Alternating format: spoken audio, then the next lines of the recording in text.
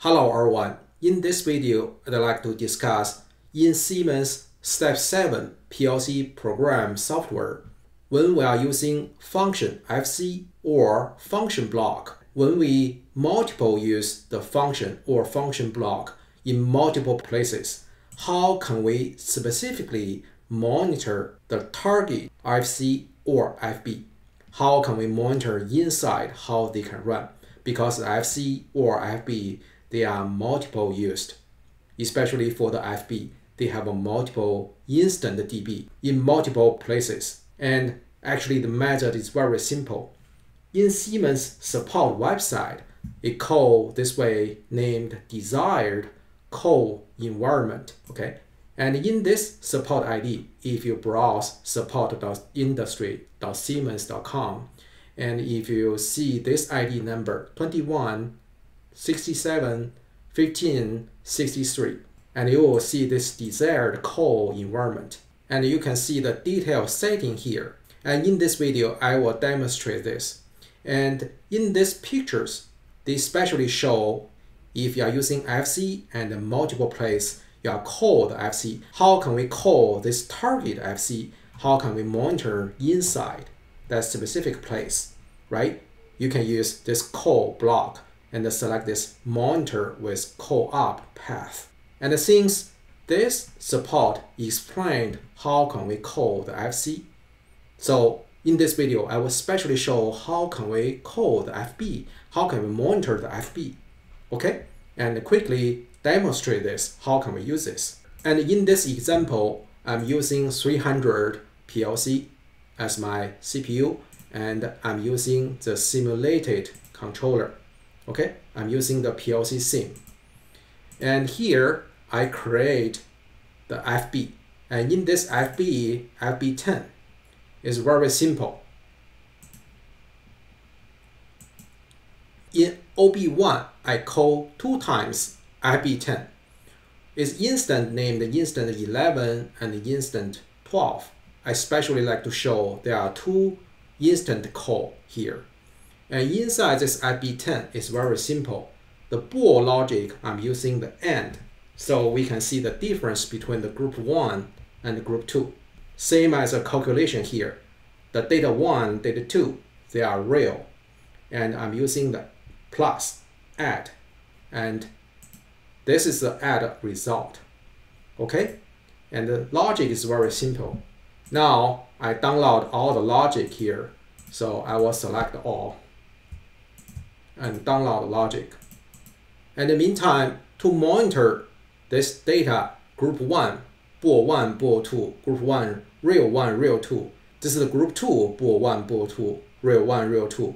I create the variable list here. So you can right click, click this uh, variable table. And now if I double click this variable table, we can see this is the group 1 data, bool.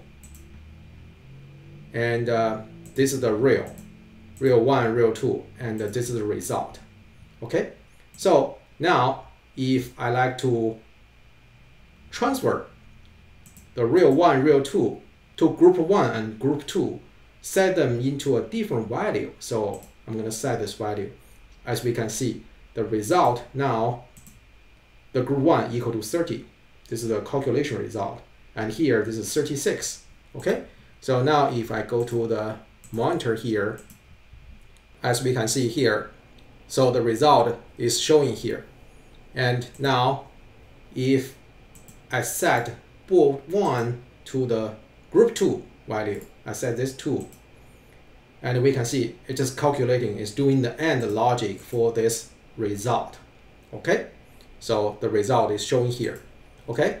Sometimes we like to specially monitor what the calculation result inside, especially for troubleshooting. For example, you can imagine if this FB10 is working for the motor, and the second group motor now cannot be turned on. For example, this result has something wrong. You especially like to see what the calculation result inside. But the trouble now we have, the FB10 is being called in multiple places, right? Probably you have 20 motors, and this FB10 has been used for 20 times somewhere. How can we specially monitor this group 2, the second motors, right? So now, if I click here, open or monitor, let's click open here. And I'm going to monitor. And then let me drag this window to here. I was online and I right click, click this open. But the current online status, what is showing actually came from the first one, the FB10. The first one, the instant 11. As we can see, the result here is showing 30. Okay, but my actual target, I like to monitor the group 2. I especially like to troubleshoot this group 2 result inside. But now what is showing here, it is group 1 data. So for example, now if I change this 11 to 8, transfer, and uh, I can turn this on, and uh, we can monitor here. I will lock it. As we can see here, so this result shows 8, and this result shows here the 1. It's actually showing the group 1. Okay, so if I close, I right click, click the monitor, just try another way. Okay, as we can see, while I'm opening this, it's actually not showing the group 2. It is only showing the group 1. So if you have a multiple DBs, sometimes this current status inside will super confuse for you which motor or which function block instant it is represent. This, so this is a big problem while while using the FC or FB when there are multiple code. Okay, to solve this problem, this is the code desired call environmental, or we call target the instant DB or the target FB or FC. Let's monitor inside the target FB FC. So to do this, from this ladder logic here, let's go to the debug select this operation. And we can see the default is selecting the process operation. So we can select the test operation. Okay, people will ask what the difference between this. We can click this help. And then we can see the explanation for this process and test operation. So the only trouble of the test operation, it will cause the CPU high workload potentially it could increase the CPU scan cycle time. That's why default it always select the process operation. And but once you finish your test, don't forget switch back to the process operation. Okay, don't forget switch back. Now we select this temporarily. Okay, then we can monitor the specific FB10. For example, now I especially like to monitor the this FB10. So I can open this FB10. Okay, now this FB10. But how can I select the instant DB behind? Okay, now let's go back to the debug. Now we will see. After we select the operation test mode, then this call environment will be highlighted. That's why in Siemens it called desired call environment. Okay, let's click this call environment it has its call path and uh, this manual way. So the detailed explanation, you better review this web page. Okay, this call path, basically, they are being used for the FC cases. FC cases. Now we are using FB, so the case will be slightly different. So if we are using the FB here, since the FB has their instant DB. So when we especially like to monitor the second instant DB, see now I can click this open DB, open data blocks. And in this instant DB number here, I can select the instant DB. Okay, let's recall. In this case, I have a one FB10 and I have a two instant DBs. First one, instant 11, second one instant 12. And I especially like to monitor this instant DB 12. So here I can select the 12. And the 12 means the second group, right? The group 2.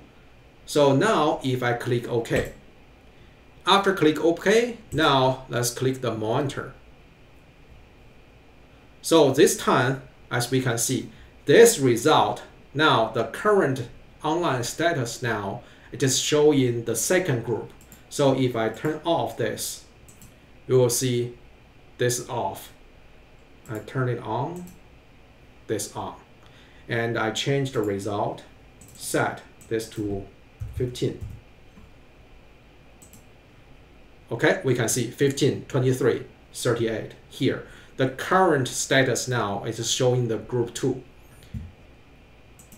And now stay as this FB10. If I like to monitor the group 1, the instant 11, so now I can switch this call environment and I can set the 11 instant DB here and I can click OK. Monitor again. As we can see now what is showing represent the group 1. If I turn this on, okay, they all on. If I turn this off, we'll see 0, 1, 0, 1. Result equal to 28. Now the current status is showing the group 1 data. Okay, so this is step 7. How can we monitor the desired co-environment? So the only trouble now, what we have, so while we are going online, we don't know the current online status. It represent the group 1, the instant 11, or the group 2, instant 12. So no place to show what the current instant DB we are running. This is the only trouble. So to reveal this, you can go to the call environment. Okay, online, while you are online, you cannot monitor that. You better click, double check, click OK, and click the online. So every time, keep in mind, you must be very clear which instant DB you are monitoring. Okay? To compare, if you are using the FC, so you can select this co-op pass because FC doesn't have the instant DB, right? It rely on this co-op pass. And then after this, you can select the target FC. Then you can select the code block and select this monitor with a co-op pass. Then the online status inside this FC will specially follow this path you are looking for. Okay, this code desired call environment. Don't forget, after we test this, so select this operation, switch back to this process operation. All right, this is how can we call, how can we monitor the specific IFB or FC. In the next video, I will show in TIA portal, how can we do this. Actually, in TIA portal, is much easier than the step 7, this conversional software. See you in next video. I will show how can we do this in TIA portal. Thank you for watching. If you like this video, please give me a thumb up. If you like to watch more videos in my channel, please subscribe and hit the bell. Thank you for watching.